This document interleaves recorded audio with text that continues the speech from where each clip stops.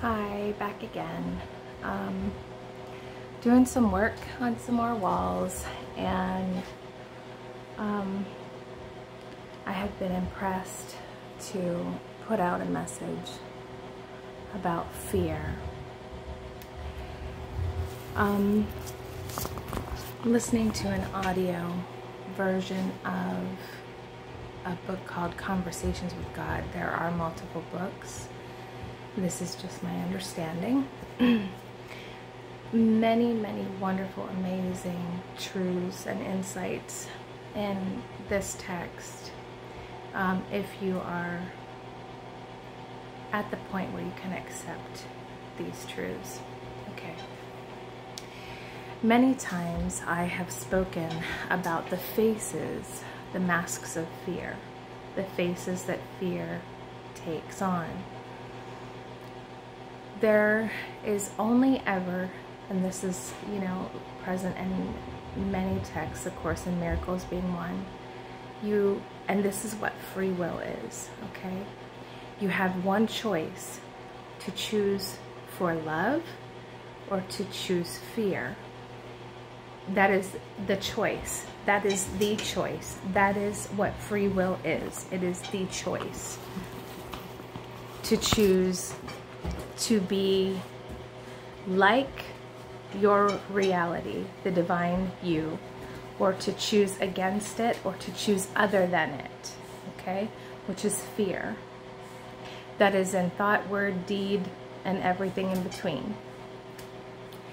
So I as I'm listening to this text, I'm uh, inspired to revisit this yet again from slightly altered perspective, but still the same. And the message was just that in the world, this choice, this one choice, the choice for fear, assumes many forms and many faces. And we have to be very careful. We have to be very cautious because it is very easy when when you're it is very easy for your human, for your humanness to say, well, this is wrong and that is wrong and that person is wrong and this choice is wrong and that action is wrong and on and on and on. It is very easy for us to judge to perceive a right and a wrong and then to project that out into the world. Okay. Now,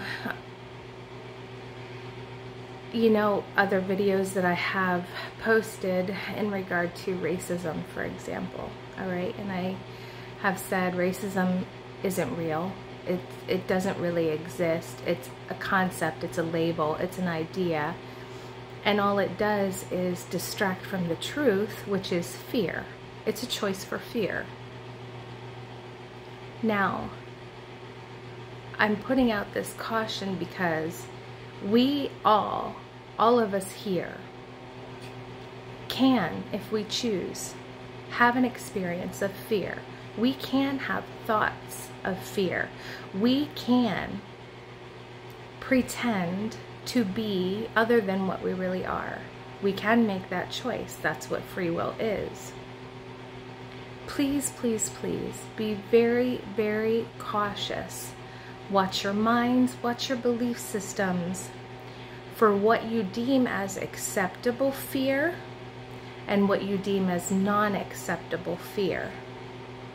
Because that is what that is what I understand to be occurring out here is we, if I have a fear that I project out into the world, but my fear takes on a different face than a person who is uh, deemed a racist, for example. And I'm sorry I keep using this, but it seems to be one of the most triggering ways of getting this out into the open. So, you know, if if I if I behave in such a way and someone calls me a racist because I say there's no such thing as racism, right? It doesn't really exist. And then I'm a racist. Okay. Well, that that same person who calls me a racist has some kind of fear within them that projects that idea out into the rest of the world. Because things like this cannot exist unless we have them inside of us. So, everything that you see that comes into your purview, that comes into your awareness, is a projection of something within you that is showing up to be transcended, transformed, to be, to get your attention. It's there just to say, hey, I'm here, look at me, and why? Because we are in a time of ascension. We are in the midst of a, a time when we are able to awaken more fully what this means is that we are able to allow Christ, the truth of who we are, to live through our bodies, the true essence of who we really are. We are able to realize this in our human experience. We are actually able to transcend the limitations of human in this lifetime. But what that means is we have to shed the untruths. We have to shed the errors. We have to put down the cross. We have to cast away the things of the world that aren't our real are our reality. We have to set aside all that no longer serves the divine aspect aspects of us. Okay, the truth of us.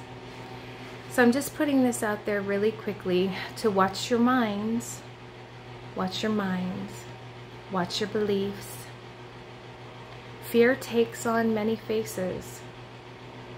What you see in another, you can only see because it's present within you. Judge not, In peace and love, may you be blessed.